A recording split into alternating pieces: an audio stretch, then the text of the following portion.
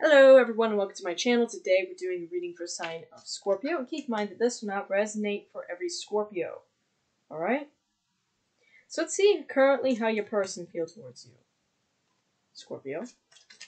How does Scorpio's persons feel towards Scorpio?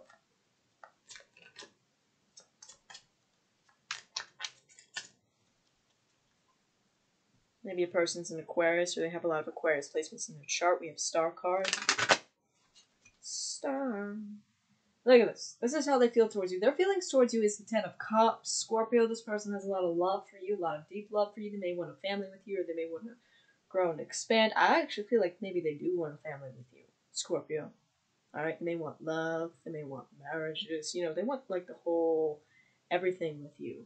Alright? Very, very, ooh, like you a lot.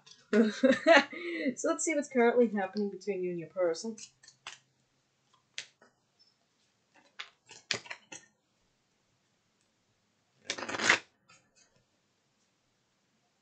Temperance. So this tells me that your person could be Sagittarius with a lot of Aquarius placements in their chart, or they're Aquarius with a lot of Sagittarius here. Like a Death card. You and your person mirror each other a lot. Page of Cups. There's going to be a surprise message coming in. Um, I feel like your person wants a relationship with you. I feel like they want you, Scorpio. They want you. It may have been a release of some things. Maybe there was there's a release of some some. Maybe you're releasing something in your life here. Maybe they were releasing. Maybe you're. I feel like you both go through the same things. Honestly, like it's kind of like the same things happen between both of you in your lives. But I feel like there's going to be a surprise message, maybe an offer of love here. I also feel like they're achieving big things in their life as well. Looking at that temperance card, it's kind of like a magical card to me. Alright, so let's see what's your person's next actions towards you.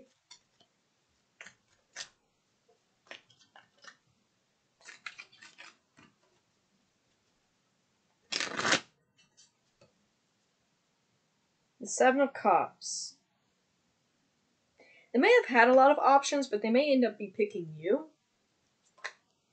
I know you probably don't want to be an option of theirs, but I feel like they're going to end up picking you for their to be their person. So you have someone here who's actually stepping up.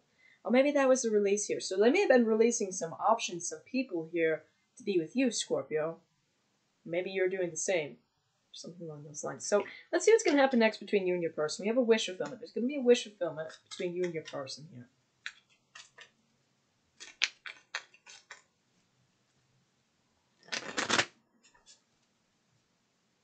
Ace of Swords. You have a Knight of Wands. Nine of Swords. Why is there this? Alright?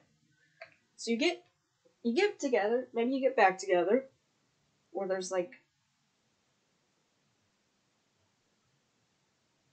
feel like like there was a release of other options, and then you guys decide to get together. That's a wish fulfillment. And uh, why do we have someone ignoring the other person? So you get together, and then one of you ignores the other of the conversations. Maybe you're not. Maybe someone's not even paying attention to what the other one's saying, blatantly ignoring. Why is that there? I don't know if that's you, or if that's them doing that, or if that's both of you. That could be an issue. I don't like that. You know what I'm saying? That's kind of disrespectful in a lot of ways. Scorpio. So I guess we'll see how that plays out, right? Um, anyways, that's all I have for you. And if you want to see more content for your sign, don't forget to like, share, and subscribe. Goodbye, guys.